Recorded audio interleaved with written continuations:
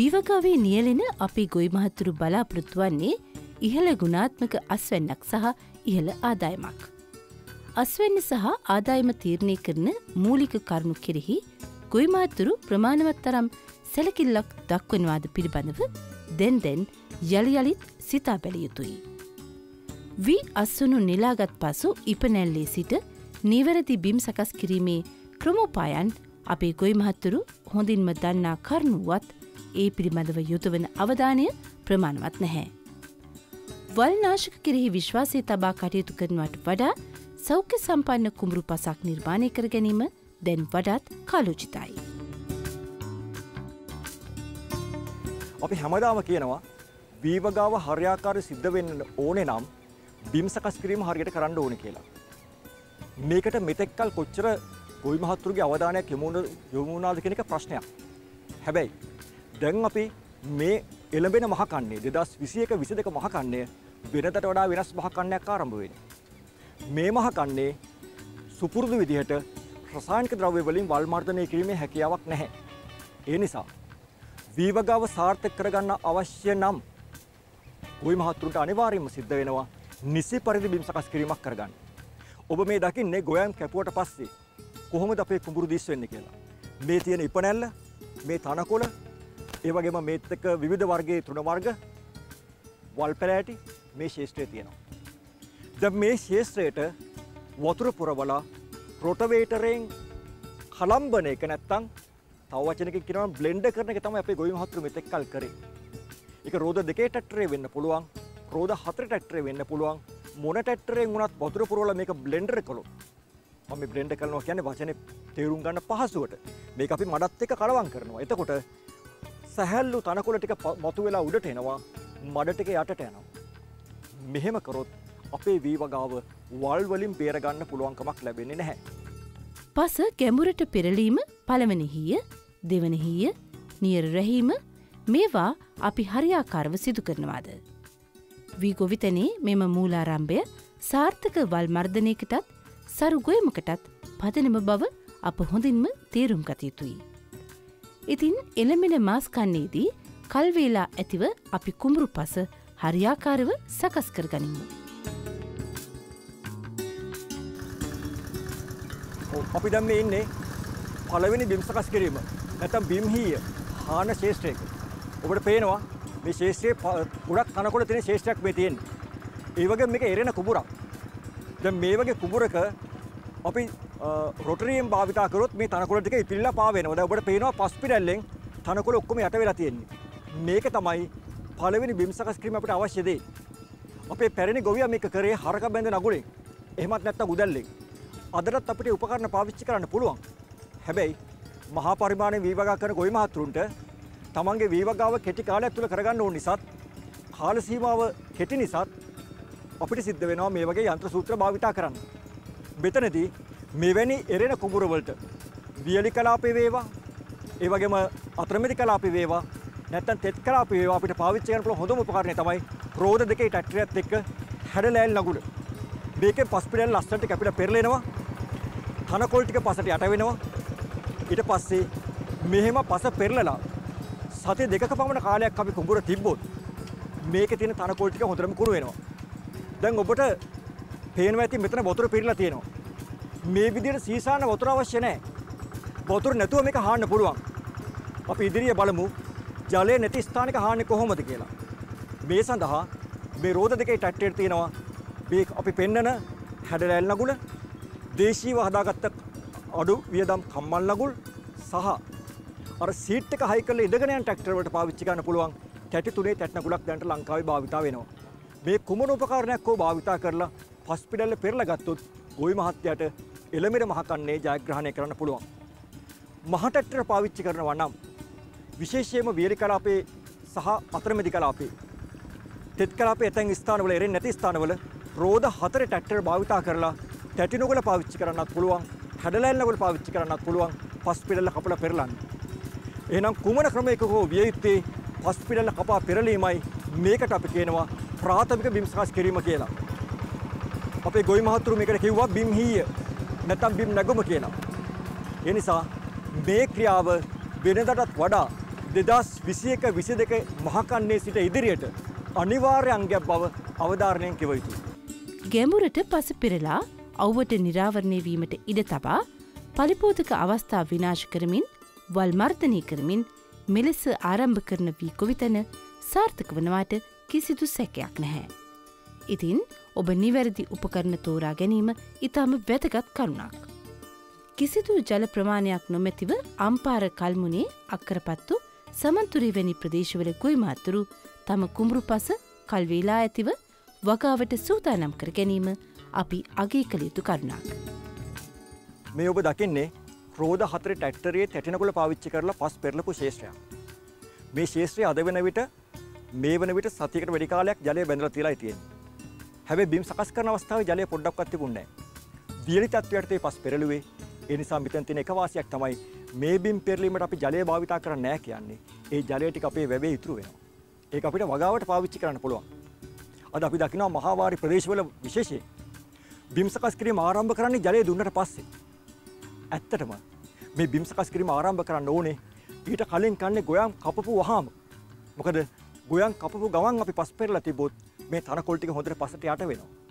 තනකොළ විතරක් නෙමෙයි ඔබට පේනවා මේ ඉපනෙල්ලත් යට වෙලා තියෙන්නේ. තනින් තන පොඩ්ඩක් මතුනොත් හැරෙන්න. හැබැයි අපි රෝද හතර ට්‍රැක්ටරේ මෝල් බෝඩ් නගොල පාවිච්චි කරොත් මේ තරම්වත් තනකොළ මතුවෙන්නේ නැති වෙන්න ඉතා හොඳට පස් පෙරලා ගන්න පුළුවන්. ඒක තමයි බිම් පෙරලීමේ තියෙන විශිෂ්ටතම උපකරණය. දැන් මේ මේක ලැබෙන වාසි ගැන අපි කතා කරොත් එකක් තමයි පසේ තියෙන තනකොළ යට වෙලා කාබනික පෝරක් හැටියට එකතු වීම. දෙවැනි කාරණේ පස මතු පිට තිබිච්ච වල් ඇට පැලවෙලා ඒවා ඊළඟ සීසෑමට යට වෙලා විනාශ වීම. තුන්වෙනි කාරණේ ගැඹුරු මූල මණ්ඩලයක් ලැබෙන නිසා ශාක වර්ධනය වැඩි වෙලා හොඳ අස්වැන්නක් ලැබීම. හතරවෙනි කාරණේ ගැඹුරු මූල මණ්ඩලයක් තියෙන නිසා දියලි කාලයේදී නියඟට ඔරුත් වීමේ හැකියාව. තව විශේෂ කාරණයක් තියෙනවා. අපි දැන් යන්නේ කාබනික වගාවට. කාබනික වගාවේදී අපිට කෘමිනාශක නැහැ. දිලිරනාශක නැහැ. කාබනික දිලිරනාශක සහ කෘමිනාශක ලැබෙන බවක් කියනවා. ඒවා ලැබුණොත් අපිට ඒවා භාවිත කරන්න පුළුවන්. නමුත් අපි කතා කරන්නේ රසායනික වශයෙන් නිෂ්පාදනය කරපු කෘමිනාශක දිලිරනාශක නැතුව තමයි මේ ගමන අපි යන්නේ. එහෙමනම් කෘමි පලිබෝධ මර්ධනය කරන්න පටන් ගන්න ඕනේ මෙතනින්. අපි කලින් කන්නේ ගොයන් කපපු එකේ ඉපනැල්ලේ ඉන්නවා. පුරුප්පණු වගේ පිලා අවස්ථාව.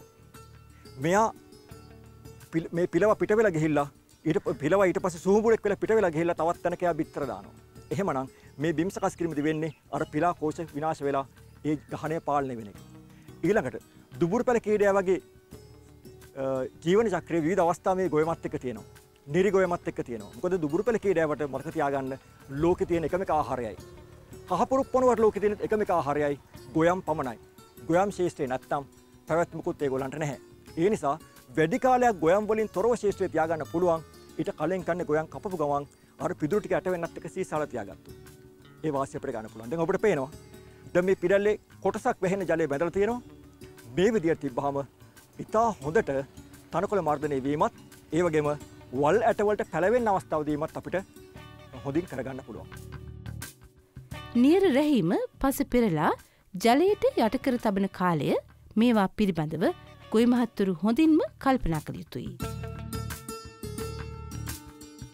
පළවෙනි බිම් සකස් කිරීමකට පස්සේ මේ විදියට පිඩල්ලෙන් භාගයක් වැහෙන්න වතුර බැඳලා තියන්න ඕනේ. මේ පිඩල්ලෙන් භාගයක් වැහෙන්න වතුර බඳ කිතා වැදගත්. සමහර ගොවි මහත්තුරු කරන්නේ මේ පිඩල්ල වැහෙන්න වතුර බඳනවා සම්පූර්ණයෙන්. ඒක වැරදි. මොකද මෙහෙම මෙහෙම බැලලා තිබ්බම අපිට පේනවා මේ ඉතා කුඩා තනකොළ පැල. මේ අපිට පේන්නේ තනකොළ බීජ. මේකේ තිබිච්ච පුංචි තනකොළ බීජ මේ වගේ පැලවෙනවා. මේ පැලවෙන තනකොළ පැල ඇටි දෙවනි සීසෑමේදී නැවතත් විනාශ වෙනවා. එතකොට මෙහෙම මේ වල් ඇටයට පැලවෙන්න අපි ඉඩ දුන්නේ නැත්තම් මෙයා පැලවෙන්නේ වැපුරුවෙන් පස්සේ ගොයමත් එක්ක. ඒ නිසා බිම් සකස් කිරීම ඉතා වැදගත් දෙයක් තමයි වල් ශාක සහ වල් බීජ විනාශ කිරීම. දැන් ඔබට පේනවා මේ පෙරලා තියෙන පිඩැල්ල අනිත් පැත්ත හරවලා බලපුවාම මේකේ තිබිච්ච තනකොළ දැන් සේරම මැරිලා තියෙන්නේ. දැන් මේක කොම්පෝස්ට් එකක් විදිහට පසල එකතු වෙනවා. මේක තමයි බිම් සකස් කිරීමේ අවශ්‍යතාවය. මේ පස් පිඩල්ල මෙච්චර ප්‍රමාණයක් කැපිලා දැන් අඟල් 4ක් 5ක් කැපිලා තියෙනවා. සමහර තැන්වල අඟල් 6ක් අඟල් 6ක් 7ක් 8ක් දක්වා ගැඹුරු වුණාට ප්‍රශ්නයක් නැහැ. මේකෙදී පස උඩ තිබිච්ච තනකොළ රොඩු පසට යට වෙලා කාබනික පෝරක් හැටියට එකතු වෙනවා. අනෙක් පැත්තෙන් මේවා විනාශ වෙනවා. මතු පිට තිබිච්ච වල් ඇට පැලවෙලා. ඔබට පෙනේ මෙතන මේ පුංචි වල් පැල තියෙනවා මේක දකින්න පුළුවන්. ඉතා කුඩා වල් පැල ඇති. මේ මේ පැලවෙලා තියෙන සේරම බීජ. ඒ නිසා මෙහෙම මේ තත්ත්වයට පත් වෙන්න නම් පළවෙනි සීසෑමෙන් පස්සේ අවම වශයෙන් සති දෙකක්වත් මේ ශේෂ්ත්‍රය තියන්න ඕනේ. එතකොට තමයි නිවැරදි විදියට බිම් සකස් කිරීම සිද්ධ වෙන්නේ. ඔබට පේනවා දෙවෙනි සීසෑම කරන ආකාරය. මෙතනින් අපි කරන්නේ කැට පොඩි කරලා මට්ටම් කරන එක. මේකෙදි මේ පිඩලිය ඔක්කොම කැට කැඩිලා මේ වල් පැලෑටෙත් විනාශ වෙලා පස මට්ටම් කිරීමක් සිද්ධ වෙනවා. පළවන හීය දෙවන හීය කුමරු පස මඩකර ජලයෙන් යටකර තැබීම ලියදි මට්ටම් කිරීම මේවා ක්‍රමාණුකුලව සිදු කළේ නම් හොඳ වල් පාලනයක් හොඳ ජල කළමනාකරණයක් තුළින් සාර්ථක වගාවක පසුබිම නිර්මාණය වෙනවා. දැන් අපි මේ ඉන්නේ දෙවෙනි බිම් සකස් කිරීම කරලා අවසන් කරපු ශේෂ්ත්‍රයක. ඔබට පේනවා දැන් මේකේ අර අපි දැකපු පස් පිඩලි කැඩිලා කුඩු වෙලා මට්ටම් වෙලා තියෙනවා පසත් එක්ක. දැන් මේක අපි පොඩි ජල ස්තරයක් තියාගන්න ඕනේ. මේ වගේ ජලය බැඳලා තිබ්බහම තවදුරටත් මේක තිබිච්ච වල් ශාක හොඳින් කුණු වෙලා පොහොරක් හැටියට පසට එකතු වෙනවා. මොකද බිම් සකස් කිරීමේ වැදගත්කම තියෙන්නේ වල් ශාක විනාශ කිරීමයි වල් බීජ විනාශ කිරීමයි. මේ දෙක ඉතා වැදගත්. මීට අමතරව තව විශේෂ දෙයක් තියෙනවා. අපි අර පෙන්නපු ආකාරයට ගැඹුරු බිම් සකස් කිරීමක් කරොත් ඔබට මේ පේන ඇති කුඹර කොච්චර එරෙනවද කියලා.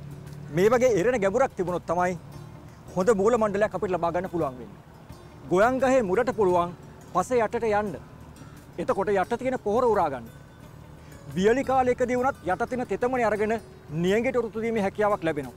ඒ නිසා නියඟයකදී ගොයම් ශාක මිය යාමෙන් වෙන හානි අඩු කරන්න පුළුවන් ගැඹුරු බිම් සකස් කිරීමක් කරොත්. අපි රොටරි කිරීම කරොත් වෙන්නේ නොගැඹුරු බිම් සකස් කිරීමක්. එතකොට කෙටි මූල මණ්ඩලයක් අඩු වර්ධනයක් කුඩා කුඩා කරලක් ඇට ටිකක් ඒ කියන්නේ ඇත්තෙන්ම අස්වැන්න අඩු වෙනවා. එහෙනම් අස්වැන්න වැඩි කරගන්න මේ ගැඹුරු බිම් සකස් කිරීම වැදගත්. නමුත් මේකේ සීමාව ඉක්මවා යා යුතු නැහැ අපි සාමාන්‍යයෙන් කියනවා අගල් පහ අටක් නමයක් තරම් ගැඹුරක් ඊට වඩා ගැඹුරු කරන්න හොඳ නැහැ. සාමාන්‍ය අඟල් 9ට එහා ගැඹුරට ගියොත් සමහරවිට අනවශ්‍ය ප්‍රශ්න මතුවෙන්න පුළුවන් කිරිමැටි මතුවීම ලවන්තාව මතුවීම වගේ දේවල් වෙන්න පුළුවන්. දැන් මේ විදිහට වතුර බෙදලා නැවත වතාවක් දවස් 5ක් 7ක් පමණ කාලයක් තිබ්බොත් හොඳ වල් මර්ධනයක් කරගන්න පුළුවන්. ඒ අවස්ථාවේදී මේ මතුවෙච්ච ස්ථානවල යම් විදිහකට වල් ඇට පැලවෙලා තියෙන්න පුළුවන්.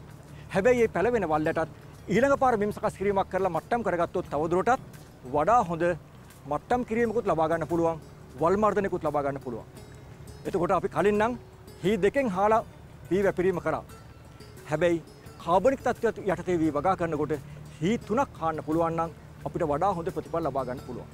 මේ වන විට අපි පළවෙනි බිම් සකස් කිරීම කළ සුමාන දෙකක් තිබ්බා. දෙවනි බිම් සකස් කිරීම දැන් කරනවා. ඒකෙන් දැන් සති දෙකක් කාලයක් ගත වෙලා සති දෙකේ සිට තුන දක්වා කාලයක් ගත වුණාට ප්‍රශ්නයක් නැහැ.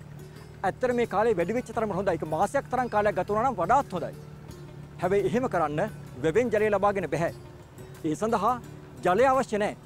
රෝද හතර ටැක්ටරේ තැටි නගුල දාන්න, රෝද හතර ටැක්ටරේ හැඩලයින් නගුල දාන්න, රෝද දෙකේ ටැක්ටරේ හැඩලයින් නගුල දාන්න, රෝද දෙකේ ටැක්ටරේ තැටි නගුල දාන්න අවශ්‍ය කරන්නේ පසේ තෙතමනේ චුට්ටක් පමණයි.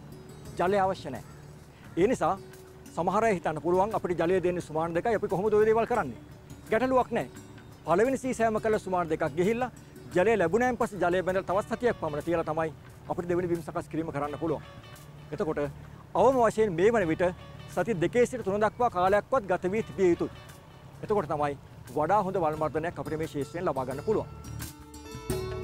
ඉතින් විවගාවේ නීවැරදි බිම් සකස් කිරීමේ ක්‍රමෝපායන් පිළිබඳව සැලකිරිමත් වී එළඹෙන මහකන්නේ විවගාවේ සාර්ථකත්වය ගොඩනගා ගනිමු. කල්වේලා ඇතිව කුඹුරු පස සකස් කර ගනිමු. සාර්ථක වී වගාවකින් උසස් ගුණාත්මක අස්වැන්නක කොටස්කරුවන් වෙමු.